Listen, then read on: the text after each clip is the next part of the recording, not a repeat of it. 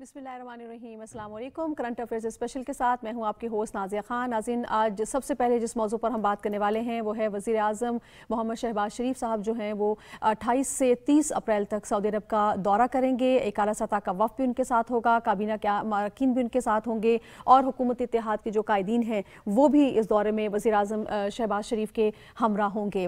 इस दौरे की बहुत ज़्यादा अहमियत है। जब हम दो तरफा ताल्लुक की बात करते हैं, बाहमी ताउन की बात करते हैं मुख्तु शोबों में सरमाकारी हो तजारत हो या अफराधी कुत के लिहाज से बात करते हैं तो हम देखते हैं कि जो दोनों ममालिक हैं, इनमें बहुत ज़्यादा कुर्बत और बाहमी हम आहंगी पाई जाती है। तो आज हम अपने प्रोग्राम में पाकिस्तान और सऊदी अरब के जो ताल्लुक हैं, उस हवाले से बात करेंगे और ख़ास तौर पर वज़ी अजम का जो दौरा सऊदी अरब है इसकी जो अहमियत बहुत ज़्यादा है, उस हवाले से भी आज में प्रोग्राम में हम डिस्कस करेंगे। फिर साथ ही साथ नाजिन आज पाकिस्तान पीपल्स पार्टी के चेयरमैन बिलावल भुट्टो जरदार साहिब ने बहसीत वज़ीर खारजा अपने अहदे का हलफ उठा लिया है। ईवान सदर इस्लामाबाद में हल्फ बर्दारी की एक पूर्व का अहतमाम किया गया और अब वो अपनी जिम्मेदारियाँ बहसीत फॉरन मिनिस्टर ऑफ़ पाकिस्तान सर अंजाम देंगे। आज इस हवाले से भी हम अपने प्रोग्राम में डिस्कशन कर रहे होंगे। फिर आगे चलकर नाजिन हम बात करेंगे कराची में पेश आने वाले एक इंतहाई अंधोनाक और अफसोसनाक वाक़े के हवाले से जब हमने कल देखा कि करा, करा, कराची यूनिवर्सिटी के अहाते में चीनी इस की वैन को निशाना बनाया गया। एक खुदकुश बम्बार खातून ने वैन के करीब आकर खुद को बम से उड़ा दिया जिसके नतीजे में चार के करीब जो लोग हैं वो अपनी जान से हाथ धो बैठे, जिनमें तीन चीनी इस शामिल हैं और मुतद अफराद इसमें जो है वो ज़ख्मी भी हुए हैं। वज़ी अजम ने इस चीज़ का फौरी नोटिस लिया और वो चीनी सफारत खाने पहुँचे चीनी नाजिम से मुलाकात की। और कंडोलेंसेज भी शो की और सबसे बढ़कर ये उनको यकीन दहानी कराई गई और इस अज़म का इजहार किया गया कि इस तरह की जो मजमूम कार्रवाइयाँ हैं, इस तरह की जो मजमूम कार्रवाइयाँ हैं, पाकिस्तान और चीन के जो ताल्लुक हैं, उनको किसी तौर भी जो है वो मुतासर नहीं कर सकती हैं। फिर इसी तरह का एक और हमने अफसोसनाक वाक़ शुमाली वजीरस्तान के इलाके में देखा जहाँ हमारे सिक्योरिटी फोर्सेज के एहलकारों को निशाना बनाया गया तो ये तसलसल हमें नज़र आ रहा है। ये क्यों वाक़ात बढ़ते जा रहे हैं? ये दुश्मन हमें क्या पैगाम दे रहा है? और हमें अपनी सफ़ों में किस कदर इतिहाद रखने की ज़रूरत है? किस कदर बहसीत कौम हमें चौकन्ना होने की ज़रूरत है। आज इन तमाम मौजूद पर हम बात करेंगे लेकिन सबसे पहले मैं तारुफ करवा देती हूँ मुझे ज्वाइन कर चुके हैं हुमायूं खान साहब हमारे तजिया का बहुत शुक्रिया हुमायूं खान साहब आपने ज्वाइन किया। और जो वज़ी अजम का दौरा सऊदी अरब है उसकी कितनी अहमियत है और क्या सिग्निफिकेंस है उस हवाले से बातचीत करने के लिए हमारे साथ मौजूद हैं मौलाना ताहिर महमूद अशरफी चेयरमैन काउंसिल हैं। बहुत शुक्रिया मौलाना ताहिर महमूद अशरफी साहब आपने हमें ज्वाइन किया। बहुत शुक्रिया वालेकुम अस्सलाम। सर, अगर हम बात करते हैं वज़ीर अजम शहबाज शरीफ के दौरे सऊदी अरब के हवाले से तो किस कदर अहमियत का हामिल है ये दौरा?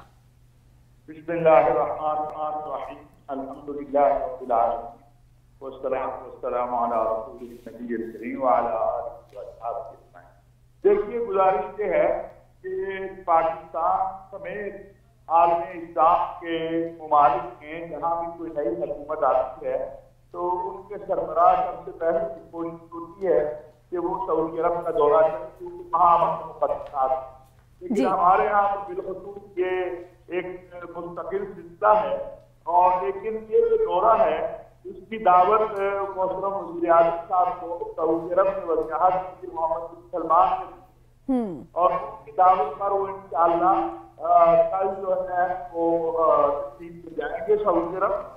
और वहाँ पर जो है, बहुत जो है, बात होगी और आज़म साहब की मुलाकात होगी सऊदी वलियात के साथ। और इसी तरह जो है हम शख्सियात हैं उनके साथ।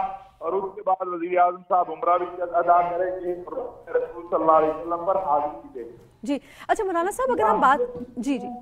बुरहान साहब हम बात करते हैं अगर मुलाकातों के हवाले से। ज़ाहिर है इसमें बहुत अहम मुलाकातें भी शेड्यूल हैं। तो अगर हम बाहमी ताउन तजारत सरमाकारी के फ़रोग के हवाले से बात करें तो ये मौजूद भी जेर बहस रहेंगे। अफ़गानिस्तान का मसला भी इसमें इसमें जेर बहस आएगा?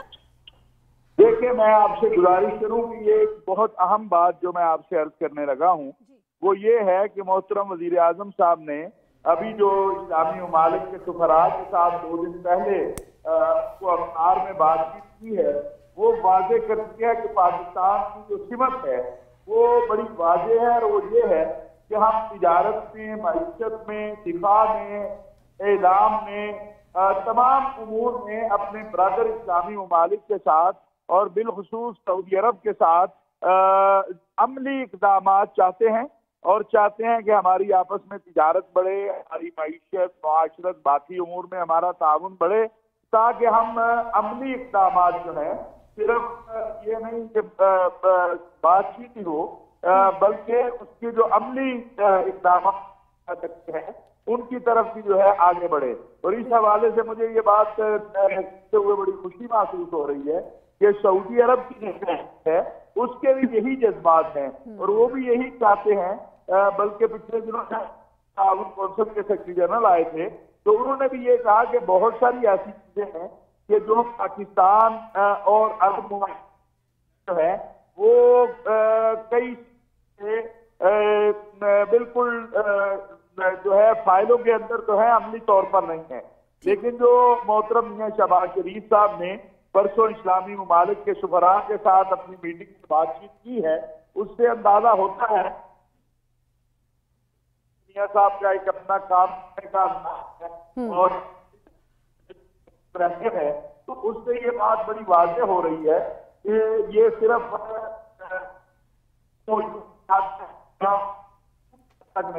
इंशाला हम देखेंगे कि अगले तीन से छह माह के अंदर बहुत सारे अमली इकदाम जिनमें ग्रीन सऊदी अरब में पाकिस्तान और। गरीब मशरक वस्ता के हवाले से पाकिस्तान का किरदार है, लेबर के हवाले से है, जो नए स्थिति बन रहे हैं, उनके हवाले से है तो इस सारे मामला में पाकिस्तान को इन ताला आगे बढ़ने में अमली तौर पर एक दूसरे के साथ मौका मिलेगा।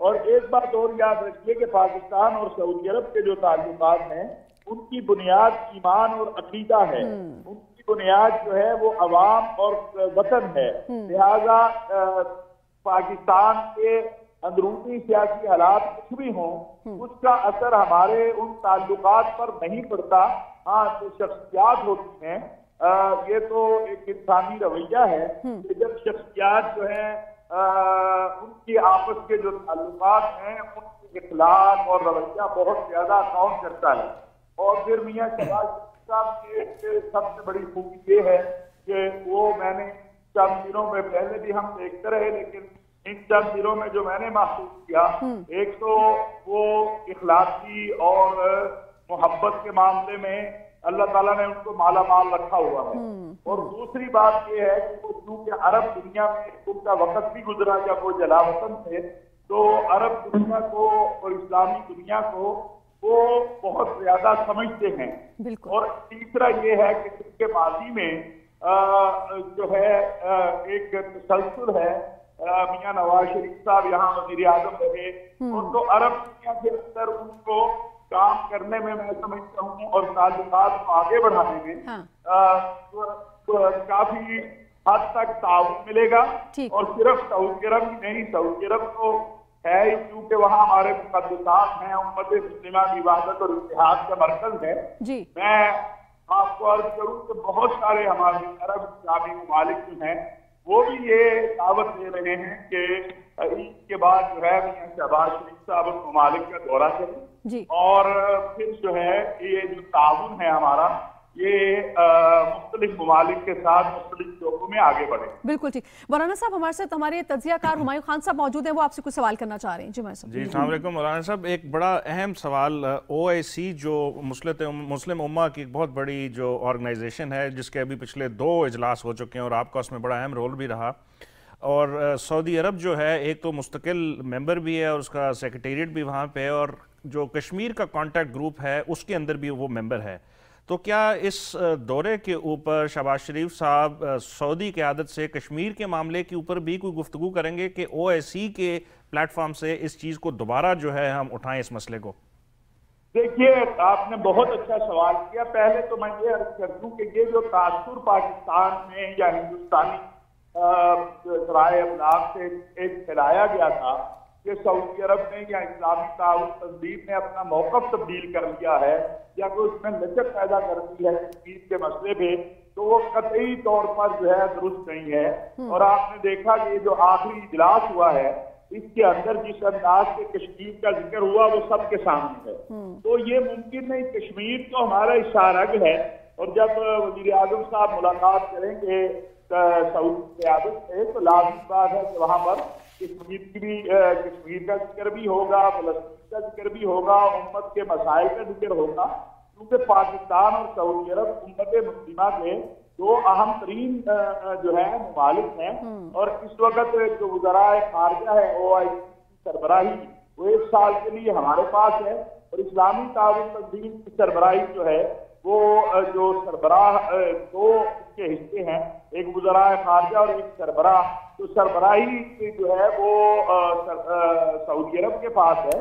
तो सऊदी अरब कश्मीर का मसला हो या कोई भी फलस्तीन का मसला हो, हमारा और सऊदी अरब का मौकफ एक है और वो एक इंच भी इससे पीछे नहीं हटे हैं।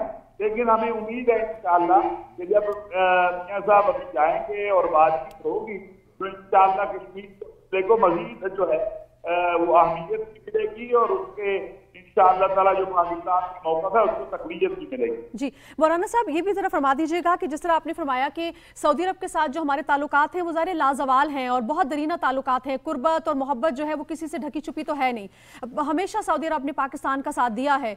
अभी जो पाकिस्तान को मीशत के हवाले से नए चैलेंजेस का सामना है, उसमें आपको लगता है कि पाकिस्तान को सऊदी अरब का ताउन दरकार है और वो ताउन वहाँ से मिल सकेगा? देखिए पहली बात तो ये है कि हमारी तारीख हमें बताती है कि जब भी हम दोनों मुल्कों के दरमियान कोई भी मसला आया कोई भी परेशानी आई या कोई भी मामला हुआ तो हमने एक दूसरे के साथ भरपूर ताउन किया है। और ये सिलसिला जो है ये रोज अव्वल से जारी है और इंशाला जारी रहेगा। हम्म। जहाँ तक एक स्पेसिफिक बात है ये आपको इंशाला ताला जो हमारी मुतल वजारतें हैं वही बता सकती हैं इस हवाले से लेकिन मैं एक इज्तमाही बात कर सकता हूँ कि जो हमारा सऊदी अरब का ताल्लुक है मुश्किल मसाइल में एक दूसरे के साथ हम भाइयों के तौर पर कंधे से कंधा मिला के खड़े हैं। और आपको याद होगा जब इमरान खान साहब आए थे उस वक्त जो हमारी सूरत हाल थी। हम्म। और फिर आज से साल पहले नवंबर के चंद माह पहले जब हमने सऊदी अरब से तेल के हवाले से या स्टेट बैंक में पैसों के हवाले से रखने के हवाले से सऊदी अरब ने हम नहीं किया हम्म। लेकिन मेरा ख्याल है कि ये पहला दौरा है और ये दौरे की दावत अमीर मोहम्मद बिन सलमान ने दी है तो ये हमारा फोकस अमली ताल्लुकात में इन्वेस्टमेंट है तिजारत है मीशत है हमारे वहाँ तकरीबन तीन मिलियन लोग हैं हम्म। उनकी बेहतरी है और ये मियाँ नवाज़ नवाज़ शरीफ साहब ने जो दो दिन पहले मीटिंग की है उसमें मेन पॉइंट ये है कि हमारी जो वहाँ पर लोग हैं उनकी बेहतरी के लिए हम क्या कर सकते हैं?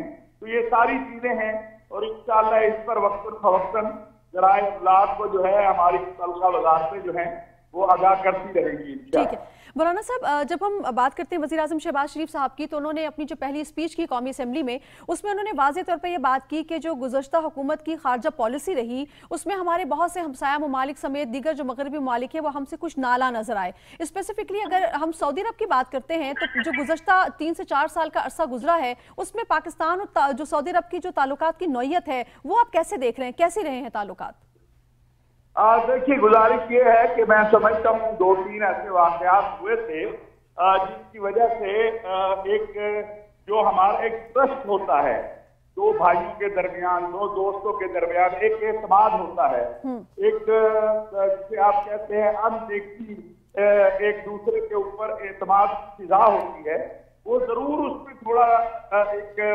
मामला दरपेश हुआ फिर एक आपको इलम है शाह महमूद कुरैशी साहब ने एक बयान दे दिया था एक इंटरव्यू में। उससे भी थोड़ा सा एक मामला आया लेकिन अलहमदिल्ला हमारे चूँकि ताल्लुकात दो कौमों के हैं दो हम्म। मुल्कों के हैं और ईमान और अकीदे के हैं तो ये चीज़ें उस तरह हमारे दुश्मनों ने ज़रूर कोशिश की कि इनको बढ़ाया जाए इनको फैलाया जाए लेकिन वो उस तरह असरअंदाज नहीं हो सके जो उनकी कोशिशें थी या जो साजिशें थी। लेकिन मैं ये कतर नहीं कहूँगा और ये हकीकत है सबके इलम में है कि थोड़ा सा एक ज़रूर ऐसी कैफियत ज़रूर आई कि जो गैर मुतव थी और जो नहीं होनी चाहिए थी हम्म। लेकिन उसके बाद अलहमदुल्ला उस डैमेज को भरपूर तरीके से कंट्रोल जो है कंट्रोल किया गया ठीक किया गया दुरुस्त किया गया और उसमें हमारे जो सिपा सलार हैं जनरल कमर जावेद बाजवा साहब उनका एक बहुत बड़ा रोल है। हम्म। और कभी तारीख में अगर मुझे मौका मिला जिससे कुछ राज है तो मैं लिखूँगा ज़रूर या बोलूँगा कि ये जो इस वक्त हमारे ताल्लुकात अरब इस्लामी दुनिया में बेहतरी की हालत में है इसमें हमारे सिपा सलार जनरल कमर जावेद बाजवा साहब का कितना बड़ा किरदार है। जी बिल्कुल। और मुझे और मुझे ये उम्मीद है कि इंशाल्लाह ये जो हमारी क्यादत अस्करी हो या सियासी ये मिलकर अब इन चीज़ों को आगे लेके जाएगी। और सऊदी अरब है, कतर है मुतहदा अरब, अमारात है, इराक है, मिसर है, जितने भी हमारे दोस्त हैं, ताजिकिस्तान है, तुर्कमान, इनके साथ हमारे जो मामला है, वो आगे से होंगे और बहुत अच्छे होंगे। बिल्कुल ठीक। मौलाना साहब, जो खासतौर पर थोड़ा मैं अफ़गानिस्तान के हवाले से भी ज़िक्र करना चाहूँगी और ओवरऑल जो खत्े की सूरत हाल है उस हवाले से भी, ये जो दोनों ममालिक हैं, पाकिस्तान और सऊदी अरब, बहुत अहम ममालिक हैं दोनों खत्े के। आप क्या समझते हैं अफ़गानिस्तान की सूरत हाल हो, वहाँ पर जारी इंसानी बहरान हो, या फिर ओवरऑल खत्े में अम की खुशहाली की अगर बात करते हैं तो दोनों ममालिक का जो ताउन है, वो किस कदर नागुजीर है इस सिलसिले में? देखिए ये जो हमारे यहाँ ओ आई सी अफ़गानिस्तान के मसले पर हुई थी तो ये उस वक्त हम रियाज गए थे हम्म। और वहाँ पर सऊदी अरब के जो वलीहद है अमीर मोहम्मद बिन सलमान उनका एक बड़ा वाज मौकफ था हम्म। कि जो हालात अफ़गानिस्तान में है इससे किसी सूरत हम नहीं चाहते कि पाकिस्तान मुतासर हो या हम्म। पाकिस्तान के अमन अमान को पाकिस्तान के लिए कोई मसाइल पैदा हो और इसी तरह बाकी दुनिया के लिए भी लिहाजा उसी बुनियाद के ऊपर इमरान खान साहब और अमित मोहम्मद बिन सलमान के दरमियान ये तय पाया कि फौरी तौर पर ओ आई गुजरा खारजा का हंगामी इजलास इस्लामाबाद में हो और जिसकी मेजबानी हम करें और ताउन और सरबराही सऊदी अरब करें। तो उसमें आपने देखा कि काफ़ी सारी हुई मुस्बत जिसमें इस्लामिक एक्ट के साथ जो है मामला हैं बाकी हैं उसमें पेशरफ हो रही है। और लाजमी बात है कि अफ़गानिस्तान की जो इस वक्त की सूरत हाल है उनको हमारा अफ़गानिस्तान पड़ोसी है हमारा भाई भी है हम्म। और अफ़गानिस्तान का अमनो इस्तेकाम पाकिस्तान का अमनो इस्तेकाम है तो इसके ऊपर परसों भी जो रियाजत साहब ने इस्लामी ममालिक के सुबरा के अफ्ताब ने इन जज्बात का अफ़गानिस्तान के लिए इजहार किया और अपने कौम और अपने मुल्क की तरफ़ से और अपनी हुकूमत की तरजीहत की तरफ़ से वो वाजे करता है कि अफ़गानिस्तान के अमन इस्तेकाम इस्तरार और अफगान अवाम जो खुशहाली है।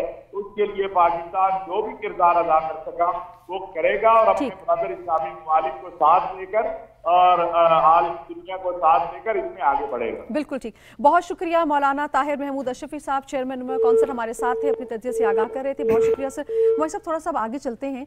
पीपल्स पार्टी के जलावल भुटो जरदारी ने बहसीत वज़ीर खारजा हलफ उठा लिया है। क्या कहेंगे आप इस हवाले से? आ, मैं एक पिछला जो टॉपिक था उसमें थोड़ा सा ऐड कर दूँ कि इस ट्रिप में जो एक बहुत बड़ी चीज़ मुतव है अपार्ट फ्रॉम जो हमारे बायोलेटरल रिलेशन है जो बहुत सारे एरियाज़ आपने किए हम्म। हम एक 1.2 बिलियन डॉलर की एक हमने एक एग्रीमेंट साइन किया हुआ है सऊदी अरेबिया की हुकूमत के साथ ऑयल की डेफर्ड पेमेंट के ऊपर।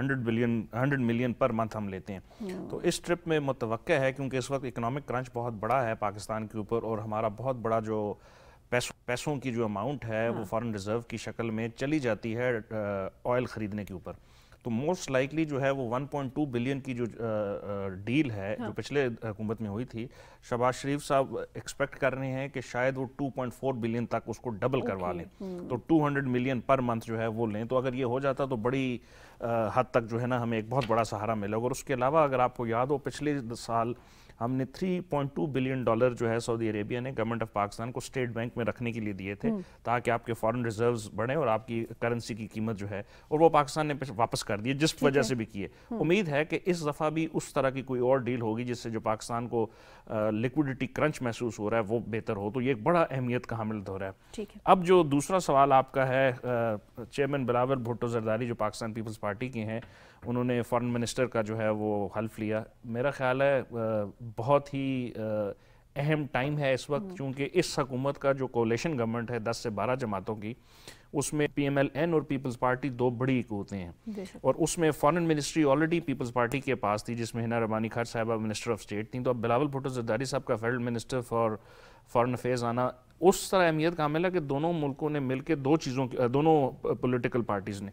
Economy is their main focus और फॉरेन पॉलिसी उस फॉरन पॉलिसी के तनाजुर में भी इकानमी बड़ा अहम है जिस तरह इस ट्रिप में भी बिलावल भुट्टो जरदारी साहब उनके शायद साथ शायद जा रहे हैं तो अगर फॉरेन मिनिस्टर और प्राइम मिनिस्टर इकट्ठे कहीं जाते हैं तो एक आपकी सिम्बॉलिक वैल्यू बहुत बढ़ती है और आप है। बताते हैं अगले मुल्क को जहाँ पे जा रहे हैं कि हम कितनी आपको अहमियत देते हैं हम्म। तो बिलावल साहब का आना अहमियत का हमें इसलिए कि एक ही would be a very young foreign minister दूसरा ये कि पॉलिटिकली अगर देखें तो वो एक अपनी पार्टी को हेड कर रहे हैं उसके चेयरमैन भी हैं।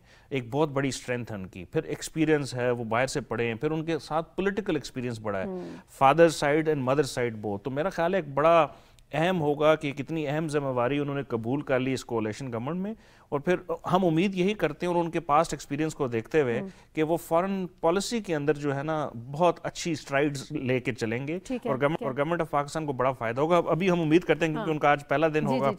तो आइंदा आने वाले दिनों में हम देखेंगे उम्मीद करते हैं कि वो उसको किसी बेहतर तरीके से चलाएँगे। अच्छा अगर हम बहसीत फॉरन मिनिस्टर बात करते हैं बिलावल भुट्टो जरदारी की तो आप क्या समझते हैं कि कौन सा कौन से ऐसे टास्क है जो उनके लिए जो है वो बड़े होंगे? क्योंकि हमने खारजा पॉलिसी के हवाले से अगर हम बात करते हैं कुछ जैसे हमने पहले भी बात की कि ताल्लुक हमें कुछ मुतासर होते हुए नज़र आए उसको मद्देनजर रखते हुए और दीगर मामला को मद्देनजर रखते हुए आपको क्या लगता है कि कौन कौन से देखें इमीडिएटली पाकिस्तान के ऊपर काफ़ी बड़े चैलेंजेस हैं जिसमें इकॉनमी सबसे बड़ा चैलेंज है। और मेरा ख्याल है ये जो पहला ट्रिप है ये उसकी तरफ़ एक बहुत अहम कदम होगा कि सऊदी अरेबिया के साथ जाके हम अपनी इकनॉमिक टर्म्स उनको ना सिर्फ़ बहाल करें बल्कि एक्सटेंड करें और कोशिश करें कि वहाँ से हमें कुछ इस किस्म की जो है जो है हेल्प मुतव है हम्म। जिससे इकॉनमी स्टेबल हो उसके बाद अगला दौरा चीन का होगा वो भी इस पॉइंट ऑफ़ व्यू से बहुत अहमियत का हामिल है कि पीपल्स पार्टी की गवर्नमेंट में अगर आपको याद हो तो सीपैक जब स्टार्ट हुआ था तो प्रेसिडेंट जरदारी की उस टाइम पे स्टार्ट हुआ और पीएमएलएन की गवर्नमेंट में वो उसका जो फ़र्स्ट फ़ेज़ था वो स्टार्ट हुआ तो अब दोबारा उनका उस फ़ेज़ में जाना और पर्टिकुलरली कराची इंसिडेंट के बाद प्राइम मिनिस्टर और फॉरेन मिनिस्टर का चाइना का जो दौरा होगा वो हम्म। बड़े अहमियत का हामिल होगा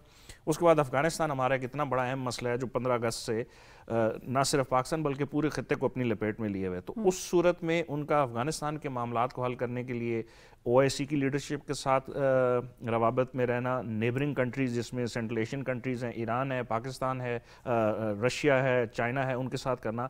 और फिर जो दो और बड़े अहम एरियाज़ होंगे उसमें एक यूनाइटेड स्टेट्स ऑफ़ अमेरिका और यूरोपियन यूनियन तो मेरा ख्याल है बिलावल साहब with his expertise in knowledge and educational background मेरा ख्याल है इन दो एरियाज़ uh, जो होंगे जिसमें वेस्ट पर्टिकुलरली वेस्ट में अमेरिका और यूरोपियन यूनियन इनकी तरफ़ अपनी अभी तवज्जो रखें और उन रिलेशनशिप को नॉर्मलाइजेशन करने की तरफ़ लेके जाएँ particularly United States of America वो बड़ा अहमियत कामिल होगा। आईएमएफ के साथ इकोनॉमिक जो हमारे मिनिस्टर हैं जो फाइनेंस मिनिस्टर उनकी ऑलरेडी डील चल रही है हम्म। बात हो चुकी है। तो मेरा ख्याल ये काफ़ी सारे चैलेंजेस होंगे जो फॉरेन पॉलिसी के अंदर उनको दरपेश होंगे और उनका वो अगर मिल के मुकाबला करें तो काफ़ी हद तक हम उम्मीद रखते हैं कि वो कोई बेहतर नतीजे की तरफ़ लेके जाएँगे गवर्नमेंट ऑफ़ पाकिस्तान को। ठीक। अच्छा इसी हवाले से बातचीत करने के लिए हमें ज्वाइन कर चुके हैं सेनेटर ताज हैदर साहब सीनियर रहनुमा हैं पाकिस्तान पीपल्स पार्टी के। आपको खुश आमदीद कहूँगी सर। अच्छा ताज हैदर साहब हम बात कर रहे हैं बिलावल भुट्टो जरदारी साहब की बहसीत वज़ीर खारजा उन्होंने हलफ उठाया। आप क्या समझते हैं कि बहसीत वज़ीर खारजा वो किस विजन के साथ आगे लेके जाएँगे मामला को? देखिए विजन वही पुराना है। वो ये कि पाकिस्तान को एक मकाम दिलाया जाए एक बाज़त मकाम दिलाया जाए। और इसके अंदर ये है कि ये ज़रूरी नहीं है कि हमारे पास कितने माशी वसाइल हैं या हमारी फ़ौजें कितनी बड़ी हैं बल्कि असल चीज़ यह है कि वो कौन सी अवतार हैं जिनके लिए हम काम कर रहे हैं। हमारा मुल्क जब बना था तो हम बहुत गरीब मुल्क थे। हम्म। हम जंग लड़ रहे थे कश्मीर के अंदर। लेकिन एक क़्यादत थी जिसने कहा कि हम इस मुल्क को जमहूरी मुल्क बनाएँगे। इस मुल्क के वसाइल लोगों की खुशहाली के लिए होंगे। This will be a welfare state फिर ये कि इस मुल्क में बिला लिहाज कीदा व मज़हब हर एक बराबर का शहरी होगा। फिर ये कि ये जो है, जो कायद अजम के अल्फाज थे peace within and peace without अमन के लिए काम करेगा। तो तमाम दुनिया ने देखा कि एक नया मुल्क आया है सामने जो कि आला अकदार की पैरवी कर रहा है। और जो कि वो एहतजाज के तौर पे आया है अकलीतों के साथ जो ज़्यादती होती है उसके एहतजाज के तौर पे वजूद में आया है। हमने कश्मीर पे प्लेबसाइड का रेजोल्यूशन ले लिया और तमाम दुनिया ने हमारी हिमायत की उसके ऊपर।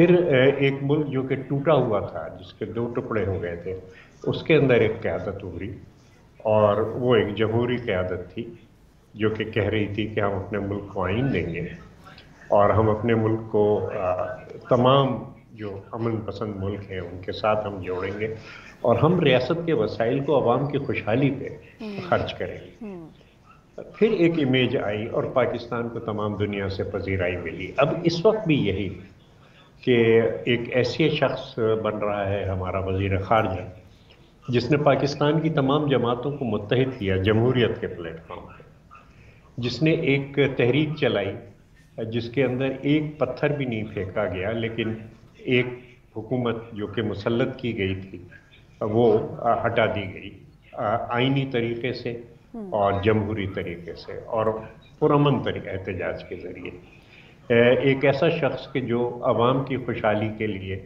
काम करता रहा है और जिसकी एक लेगेसी है पुरानी। हम्म। फिर एक ऐसा शख्स के जो मजहबी क्योंकि आजकल मजहबी इंतहा पसंदी और दहशत गर्दी तमाम दुनिया के लिए खतरे खतरा बन चुकी है। हाँ। ये एक ऐसी क़्यादत है कि जिसने हमेशा मजहबी इंतहा पसंदी और दहशत गर्दी की मुखालफत की और जिसकी अपनी मान शहादत कबूल की इस इन दहशत गर्दों के हाथ। और जो कमिटेड है इस खत्े को दहशत गर्दी से पाक करने में। तो ज़ाहिर है कि मुझे पूरा यकीन है कि इस क़्यादत को कि जो इतनी बड़ी तब्दीली पिछले तीन महीने के अंदर लाई है जिसका कि ख्याल भी नहीं किया जा सकता था तस्वर भी नहीं किया जा सकता था इसको तमाम दुनिया की पजीराई हासिल होगी। हम्म। और तमाम दुनिया ना सिर्फ़ तो के साथ इस क्यादत की तरफ़ देखेगी बल्कि जो कुछ भी वो कर सकते हैं पाकिस्तान के जायज़ मौक़ की हिमायत के लिए और पाकिस्तान की हर चंद के आज तक इंसानी तारीख में कोई भी ऐसा मुल्क नहीं हुआ है जो बाहर की इमदाद पे जिसने तरक्की की हो हम्म। लेकिन एक कमिटमेंट जो है हमारा और जो हमारा तजर्बा है कि हमने जिस तरीके से थरकोल बनाया जिस तरीके से ये तमाम चीज़ें कि अपने नेचुरल रिसोर्स को मोबिलाइज करें अपनी ह्यूमन रिसोर्सेज को मोबिलाइज करें हम्म। और अपने मुल्क को तरक्की की राह पर डालें। इसका हर एक एतराफ़ करता है, करता है हाँ। और हर एक देख रहा होगा पाकिस्तान की तरफ़। ठीक है। सेनेटर साहब हम जब बैन अवी सतह पर बात करते हैं तो जो उनकी वालदा मोहतरमा शहीद बेनज़ीर भुट्टो साहिबा जो लेगेसी लेकर चली फिर उनके जो नाना थे जुल्फ़िकार अली भुट्टो साहब जो लेगेसी उनकी रही जो इज़्ज़त वक़ार एहतराम उनको आलमी सतह पर हासिल रहा। हम क्या एक्सपेक्ट करें कि वही लेगेसी बिलावल भुट्टो जरदारी साहब भी as a foreign minister of Pakistan आगे लेकर चले गए बैन अवी सतह पर उसी तरह से? देखिए मैं रिकॉर्ड पे बात कर रहा था जी। कि उनका रिकॉर्ड क्या रहा है। उनका रिकॉर्ड हालाँकि अभी सिर्फ़ तैंतीस साल की उनकी उम्र है अल्लाह उनको उम्र दे उनको हिफाजत में रखे। हम्म, हम्म। लेकिन उनका रिकॉर्ड क्या है? किस तरीके से जमहूरियत की जंग वो लड़े पुरमन तरीके से? हम्म। किस तरीके से इतिहाद कायम किया? आ, किस तरीके से वो दहशत गर्दी और मजहबी इंतहा पसंदी के खिलाफ जबकि कोई नाम नहीं ले सकता था दहशत गर्दों को कोई कह नहीं सकता था कुछ। वो सीना सफ़र होके खड़े हुए। अपनी और मैं खुद ज़ाती तौर पे मैं बहुत परेशान था इस पर कि अल्लाह उनकी हिफाजत करे और कोई ख़तरा उनको जो भी है वो टले। तो लेकिन ये कि उन्होंने परवाह नहीं की वो दिलेरी के साथ बिल्कुल अपनी शहीद वालदा की तरह से हम्म। खड़े रहे और दहशत गर्दी और मजहबी इंतहा पसंदी के खिलाफ काम करते रहे।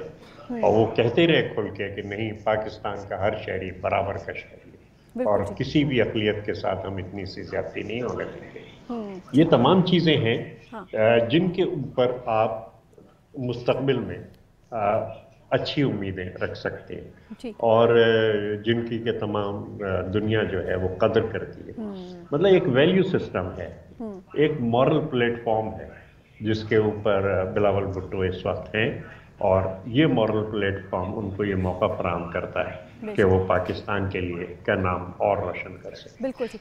हमारे साहब जिस तरह अभी वो भी फरमा रहे हैं और जो सियासी शूर सियासी पुख्तगी और सियासी विजन हमने देखा कि जो उन्होंने इनहेरिट किया है मोहतरमा बेनज़ीर भुट्टो शहीद साहबा से जो उनके नाना हैं जुल्फ़ार अली भुट्टो साहब उनसे। तो हम उसी को आगे बढ़ता हुआ देख रहे हैं और आपको लग रहा है कि पाकिस्तान को आने वाले वक्त में जो है इसका फ़ायदा होगा?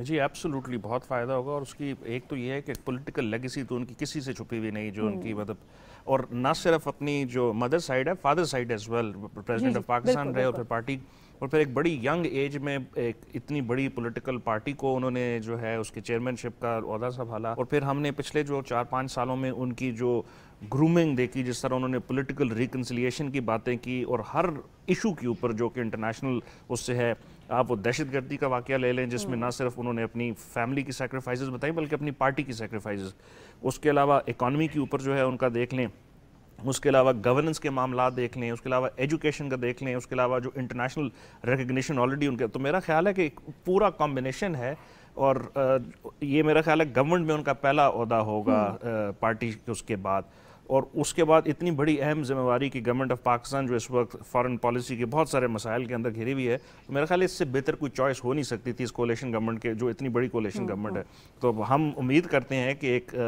अपनी उस लेगेसी को चलाएँगे और बेहतर से बेहतर की तरफ़ जो है आगे लेके जाएँगे। ठीक है और भाई साहब एक चीज़ और भी कल भी उन्होंने प्रेस कॉन्फ्रेंस की और उन्होंने बड़ी ज़बरदस्त प्रेस कॉन्फ्रेंस की। उसमें उन्होंने इमरान खान साहब को भी दावत दी कि जो भी उनके मसाइल हैं और जो भी वो बात करना चाहते हैं पार्लियामेंट में आके करें। पार्लियामेंट एक सुप्रीम इदारा है उसकी सुप्रीमेसी को बरकरार रखना चाहिए।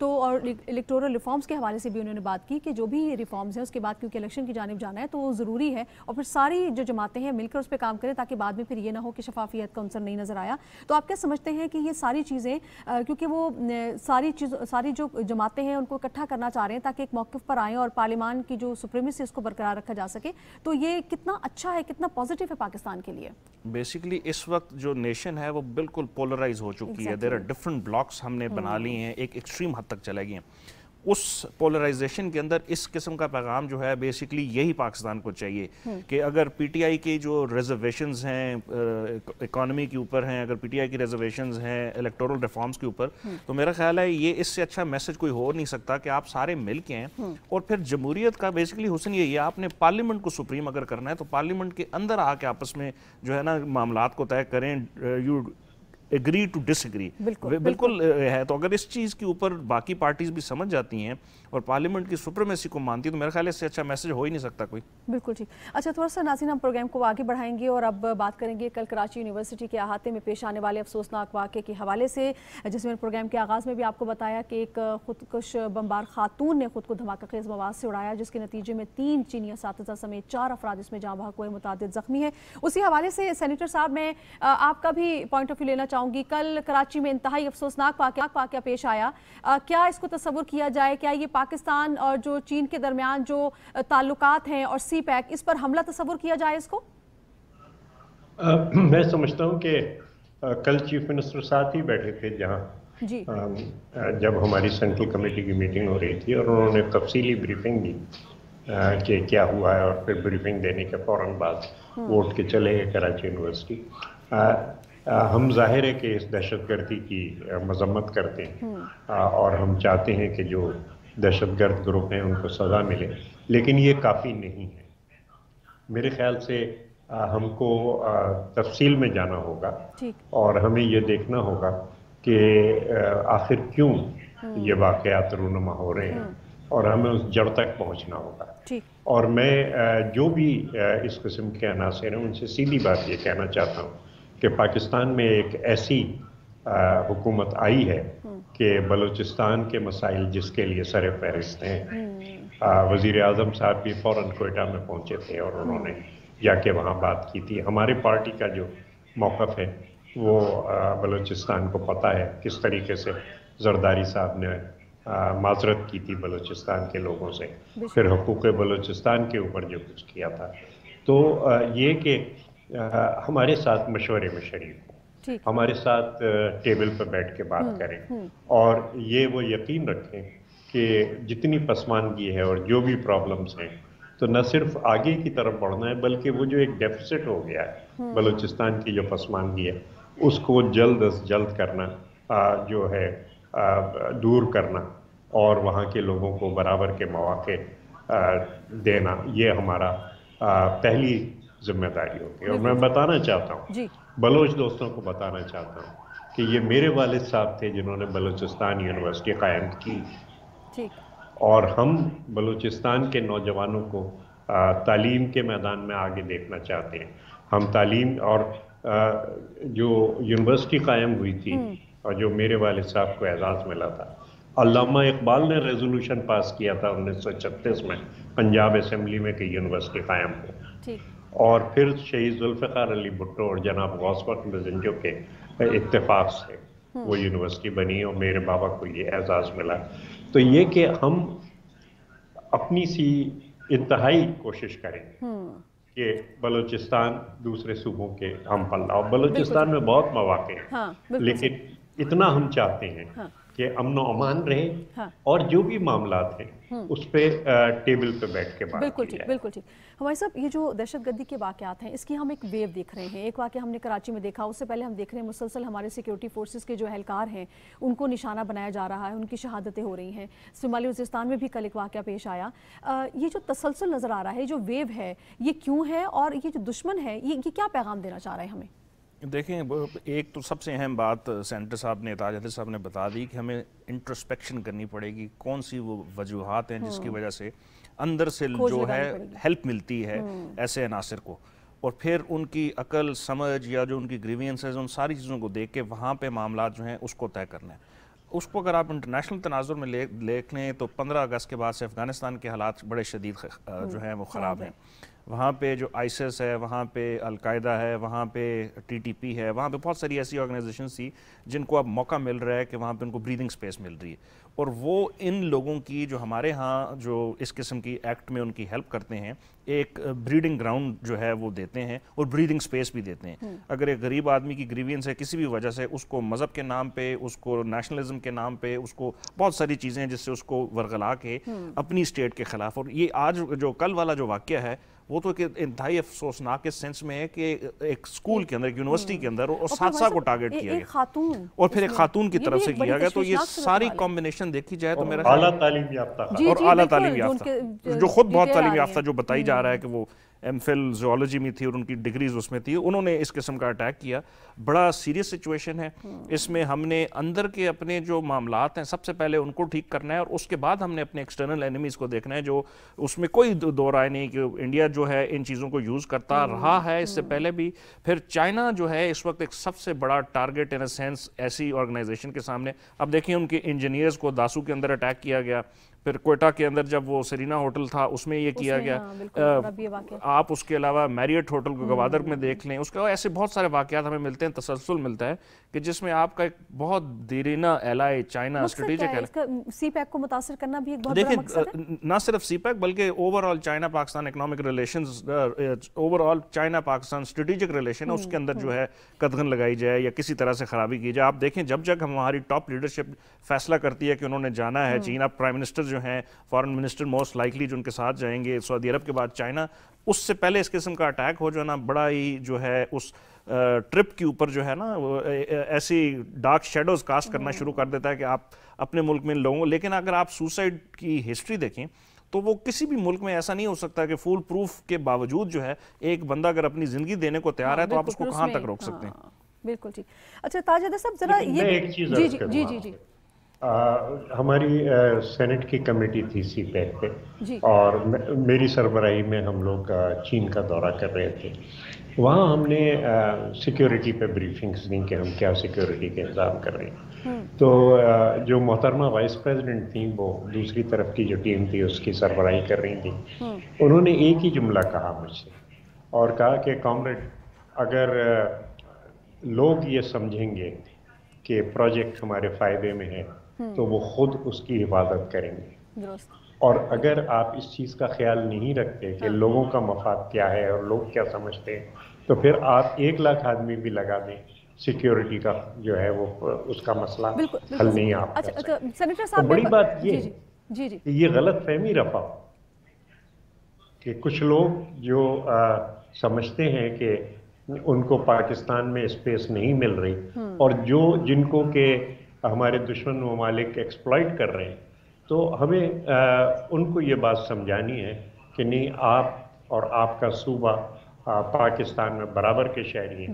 और उनको उतने ही मौाक़े बल्कि उससे बढ़ के मौाक़े क्योंकि आप पसमानदा रहेंगे हाँ। दिए जाएँगे और नेक नियति से और खलूस से दिए जाएँगे। अपना समझ के लिए जाएँगे। ठीक है। तो सेनेटर साहब जी। ये बात हमें समझा ठीक है। सेनेटर साहब मेरे पास टाइम क्योंकि महदूद है तो मैं चाहूँगी इस पर आपका कमेंट लाजमी ले लूँ। ये जो हम बात करते हैं चीनी जो इंजीनियर्स हो कभी उनको निशाना बनाया जा रहा है कल जो है वो चीनी इस को निशाना बनाया गया। एक तो सिक्योरिटी उनकी मजीद बढ़ाने की आप क्या समझते हैं किस हद तक ज़रूरी है? दूसरा जो कौमी एक्शन प्लान है और जो नेक्टा है उसके रोल को कितना मौसर बनाने की ज़रूरत है?